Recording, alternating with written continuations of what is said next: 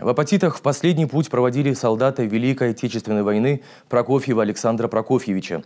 Он погиб в боях под Оржевом в 1942 году. Останки красноармейца предали земле со всеми почестями. Проститься с Александром Прокофьевичем пришли его внуки и правнуки, представители муниципалитета, горожане. Вечный покой, подашь, Господи, преснопамятному воину Александру. Прокофьев Александр Прокофьевич погиб в боях под Оржевом 5 августа 1942 года. 29 апреля московский поисковый отряд «Победа» нашел останки солдата в братской могиле в деревне Копытиха. Проститься с дедом пришли внуки и правнуки. Я очень хочу, чтобы еще, еще, еще больше нашли таких людей, и чтобы люди плакали от счастья. Я сейчас даже не знаю, то ли у меня это праздник, то ли это у меня еще что-то. Но я скажу, что отец пришел к своей дочери. Вот здесь недалеко похоронена моя мама.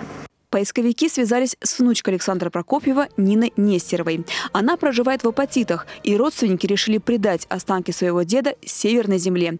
Он вернулся домой. Он уже отлежал там 80 лет. Ну что ж такое, если его нашли, домой надо. И я настолько была рада, потому что мой дед открывает эту аллею. Он настоящий, он настоящий воин. Поисковики также передали родственникам найденные вместе с останками личные вещи бойца. 20 копеек на обратную дорогу. Вот он вернулся к нам год. домой. 20 копеек 38 -го года. А это вот Это там было. проволока.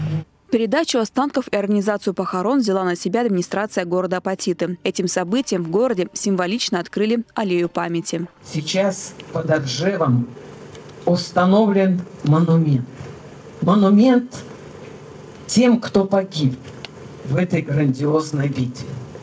Эта битва сейчас приравнена битве за Москву, битве за Сталинград.